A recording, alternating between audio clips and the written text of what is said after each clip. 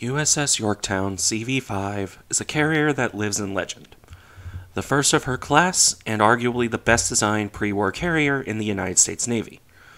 Arguably the best designed pre war carrier, period, depending on who you ask. If Yorktown is less famous than her sister Enterprise, it is only because of stupendously poor luck. She established the legend of durability that her class would become known for.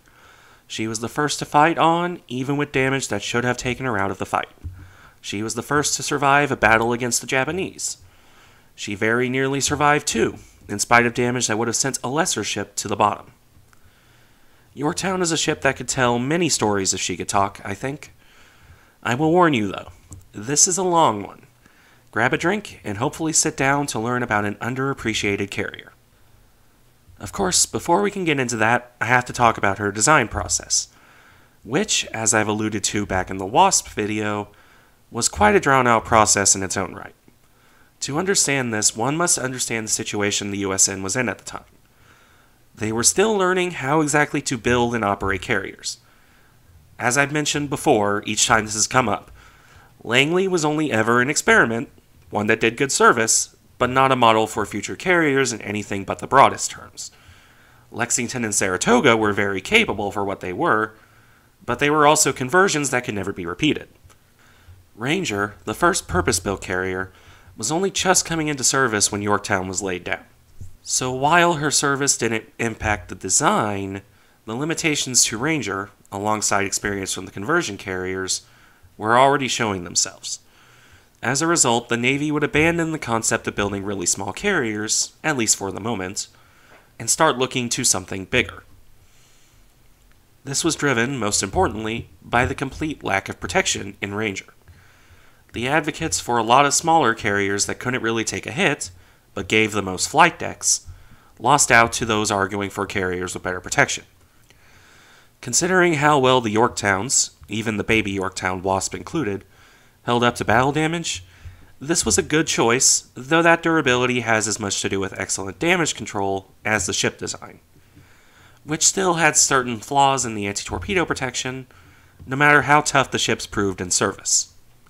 Langley had already demonstrated that smaller carriers had issues operating in rough weather, something Ranger would show in service, whereas the much bigger ex battle cruisers had far fewer issues here though one must acknowledge that any new carrier would be substantially smaller than those conversions. The final nail in the coffin of the small carrier option would prove to be speed. When Ranger was designed, speed was considered less important than air wing size. This is why Ranger struggles to get near 30 knots while carrying quite a lot of planes. The next carriers, on the other hand, were fully intended to go up towards 32 knots in speed so as to keep up with cruisers. In any event, all of these design choices led the Navy to a compromise. Two 20,000 ton, give or take, carriers and a repeat Ranger that never came into being. WASP, the eventual user of that spare tonnage, was more a mini Yorktown than any sort of repeat Ranger. Even once this was decided upon, though, the design process remained a mess of competing ideas. Different ideas about how fast the carrier should go, arguments about if she should be a flush deck design or have an island. Ranger's design history echoes here. This would be won out by the island option, though, mostly for reasons of smoke dispersal from her power plant. Further arguments about protection, if it should be full anti torpedo defense and defense against 8 inch shellfire, and defense against bombs, raged on. And yet, further arguments about how heavy her defensive firepower should be were also included. Yorktown went through quite a few twists and turns to reach her final design, including attempts, once again, to ape the British and Japanese and build a carrier with two flight decks. This was dropped relatively quickly, luckily, though its legacy would remain in one of the more interesting features of Yorktown a hangar deck catapult. This would prove to be rarely used in practice, being of very limited utility in actual service. It's probably telling that it was removed from the surviving sisters in mid 1942. Though I think my favorite proto Yorktown is probably Scheme J, the one with three triple 8 inch gun turrets mounted in front of a shortened flight deck. Do I think this was all a good idea? No, not at all. But it's one of those wacky 1930s carrier ideas that are just hilarious to imagine actually seeing. The actual final design that came out of this process would, in the end, be what modern eyes would consider a fairly normal carrier design. Really, though, this is because Yorktown's design would be so influential that she shaped the modern conception of a World War II aircraft carrier. Yorktown's design, scaled up and improved upon, would be the basis for the Essex class, after all. And they served right up through the early 90s, albeit in secondary roles. For her own part, Yorktown came out as a 20,000 ton carrier in standard loading, going up to about 25 to 26,000 tons fully loaded. With a length of 824 feet, 251 meters, and a beam of 83 feet, 25 meters at the waterline, she was a decently wide ship as well, especially as her flight deck was 109 feet, 33 meters wide. This hull was powered by nine boilers, generating 120,000 shaft horsepower. This could get Yorktown up to 32.5 knots, which, while not quite up to the Lexington standard, is still pretty fast by carrier standards. Carrying 90 aircraft on average, though this could change depending on spares or operational needs, the Yorktown still held to the American desire to get as many planes per flight deck as possible. This was largely possible because of their open hangars and the tall height of those spaces, allowing for the typically American storage of spares in the rafters. As for defense, the ships had a 4 inch belt at its thickest, this roughly intended for resisting 6 inch shell fire. Her defensive firepower then consisted at launch of eight 5-inch 38 caliber guns mounted along her flight deck.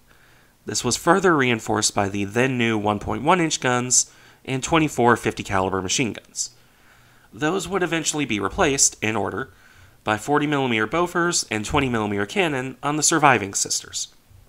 Three ships would be built to the Yorktown design, with Wasp built to a downsized variant to use up spare tonnage. The first two were Yorktown herself and the far more famous Enterprise. When the Washington Treaty restrictions were lifted, a third sister, or fourth, depending on how one views WASP, was authorized to a slightly updated design. This would become USS Hornet, a short lived but exciting ship. She was built largely to get another ship in the water, while what would become the Essex class was finalized for construction. With Yorktown's design out of the way, we can get into her service history now. This is the really fun part. Laid down on May 21, 1934, Yorktown would be constructed right next to her sister Enterprise. I'll put a picture here for illustration purposes. It is incredibly rare to see two capital ships built side by side like this, as one could expect, so it's an interesting thing to look at. Yorktown would be completed first, though, launching on April 4, 1936. Following this, she would be commissioned on September 30, 1937, and entered the fleet. With only a couple years before war would break out, Yorktown didn't see much in the way of pre war service. As such, I'm going to mostly gloss over this, since it really is much of the usual for this period fleet problems and other training exercises and the like. One distinction for Yorktown here, though, is that while most of the fleet remained in the Pacific in light of rising tensions with Japan, Yorktown would actually be sent to the Atlantic for a few months in 1941. Here she would be part of the undeclared war with Germany, providing convoy escort duties akin to what Ranger and Wasp were doing. There were a couple exciting moments with potential U boats, and of course the sinking of the USS Reuben James, but these were, by and large, the exception to the rule. Yorktown would be lucky insofar as she was in the Atlantic when Japan attacked Pearl Harbor.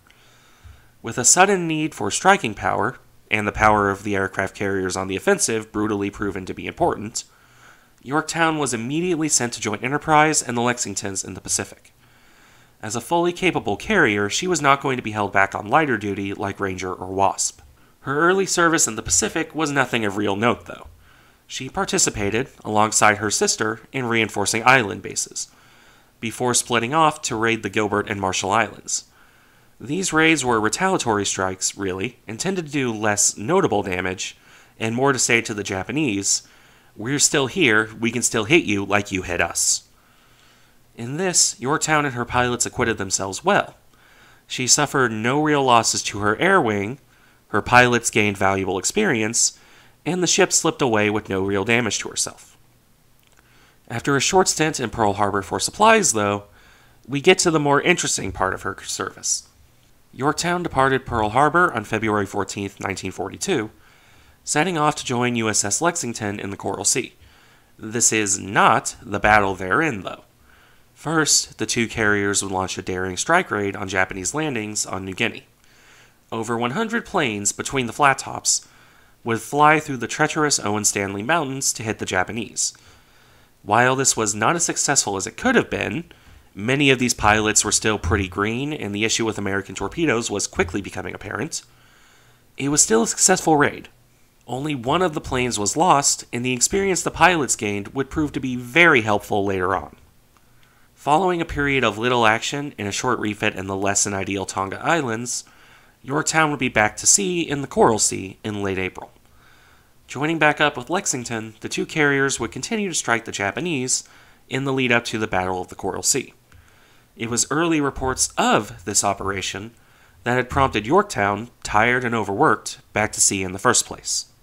After striking Japanese forces in Tulagi, she would sail with Lexington into the proper Battle of the Coral Sea in early May. As with the Lexington video, I'll note that I'm going to do a dedicated video on this battle at a later date, so I'm only going to cover directly related to Yorktown events here. First, her pilots would, alongside Lexington's, sink the Japanese light carrier Shoho. Then her Wildcats would drive off Japanese scouts. This is pretty standard, but then you get into the evening of May 7th, where somehow no fewer than six Japanese planes and their pilots attempted to land on Yorktown. Somehow, some way, these six men managed to confuse Yorktown with the Shokaku sisters. Understandably, the Americans took offense to this, and gunfire drove the Japanese planes off. Only one of the six would be shot down, though, in an ominous indication of how things would go later on. For on the next day, the climax of the battle began. First, Yorktown's dive bombers would put two bombs into Shokaku. This, coupled with damage from Lexington's flyers, would put that carrier out of commission for some time. Unfortunately for the American carriers, the Japanese launched their own attack, and it would do rather more substantial damage. Lexington, of course, took the brunt of the damage, as I went over in her own video. Yorktown, in spite of dodging eight torpedoes and most of the bombs dropped on her, would not entirely escape damage of her own. A single bomb from a Val dive bomber pierced her flight deck, exploding below decks. The explosion would kill or wound some 66 men, while also doing some pretty severe damage to her power plant. This explosion, and 12 near misses under the waterline, caused severe enough damage that, after Lexington was lost and the battle was ended, it was estimated that Yorktown would need anywhere from two weeks to three months to be put into proper fighting shape. As anyone who has watched anything on the Battle of Midway could tell you, though, three months was not available. In spite of being blunted in their advance and being down two carriers, mostly due to dumb decisions in regards to not combining air wings to get Zuikaku in service, the Japanese weren't slowing down at all. Decrypted signals intelligence gave away Yamamoto's trap at Midway, and the USN could only muster two undamaged carriers, Enterprise and Hornet, against four Japanese ships. Yorktown, damaged or not, was needed. As such, after pulling into Pearl Harbor, a truly Herculean effort by dock workers got her into somewhat operable condition in just two days. This consisted of fixing her flight deck, luckily her elevators were undamaged, and patching the hull damage from the near misses. It would not, however, fix her power plant issues, lowering her speed in the coming battle. This is still an impressive feat of engineering, all told, since while Yorktown steamed into battle with patch job repairs, she still steamed into battle nonetheless. Her air wing, wary and battle worn, would be reinforced by many of Saratoga's planes and flyers for the battle. That recently refit carrier was speeding towards Hawaii as fast as she could, but she wouldn't make it in time for Midway, so she was there spiritually instead, through her air wing joined with Yorktown's.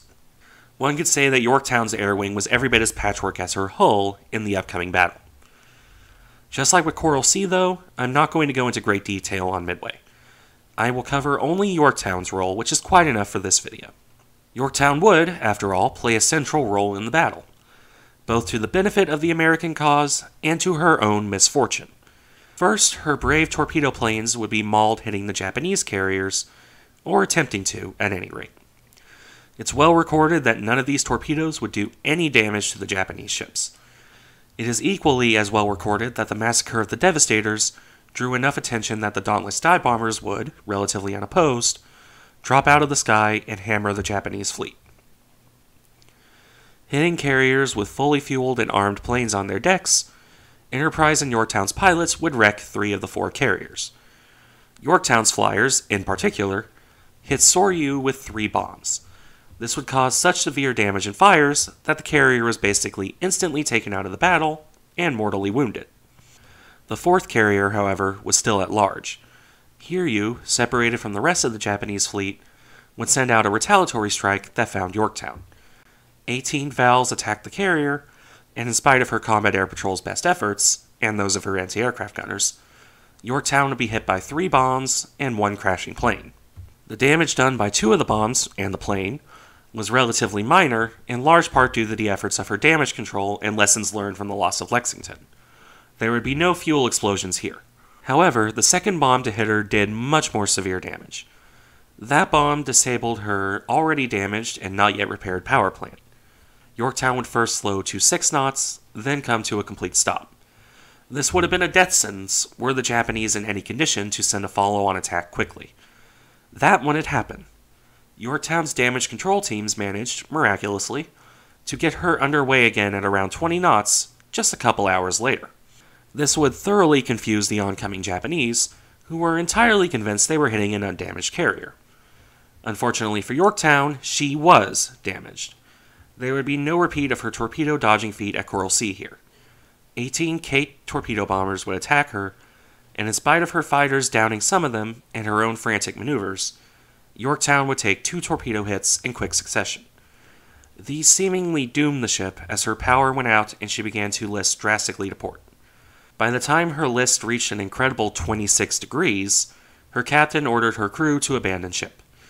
Surely a ship listing to such a degree would soon capsize, after all. When he left the ship himself, water was reportedly lapping at her hangar deck, the list was so severe. And yet, Yorktown didn't capsize. She remained afloat, if tilted at a crazy angle, right on through the night. With the coming of the morning, volunteers returned to their carrier, working to save her. Top weight was lessened by throwing overboard planes and 5 inch guns. Her list was lowered by 2 degrees, with power and pumping provided by the destroyer Hammann. It seemed that, in spite of damage that would sink a lesser ship, Yorktown was going to survive. She was going to start the reputation of her class to survive insane levels of damage. It wasn't meant to be, though. In spite of multiple destroyers being on anti submarine duty, including Monaghan, I 168 managed to sneak into a perfect firing position. Four torpedoes were launched at the carrier. One would slam into Hammann, breaking her back and sinking her quickly. Two would hit Yorktown, further damaging an already damaged ship. The fourth would, mercifully, miss to her stern. Coupled with an underwater explosion a minute after Hammann sank, most likely her depth charges going off, Yorktown was mortally wounded by these hits. While there were plans to attempt a second salvage operation, Yorktown would finally roll over completely and sink the next day. As a result, Yorktown would, ultimately, have the shortest wartime career of her class. Yet, she endured terrific poundings. She served valiantly, her pilots, alongside those loaned by Saratoga, sinking one of the Japanese Kido Butai after her pilots had already damaged another one. If Yorktown had a short career, it can't be called a boring one. And who knows, if I 168 had missed Yorktown, she might well have made it back to Pearl Harbor. Unsinkable Yorktown has a nice ring to it, doesn't it? But that's for another day and another video. Here, Yorktown's story ends. She would be succeeded by an Essex class carrier, CV 10, which is still afloat as a museum ship to this day, alongside the similarly legacy named Hornet CV 12 and Lexington CV16. Thank you for watching. Remember to like, comment, and subscribe if you enjoy the content, and I'll see you in the next one.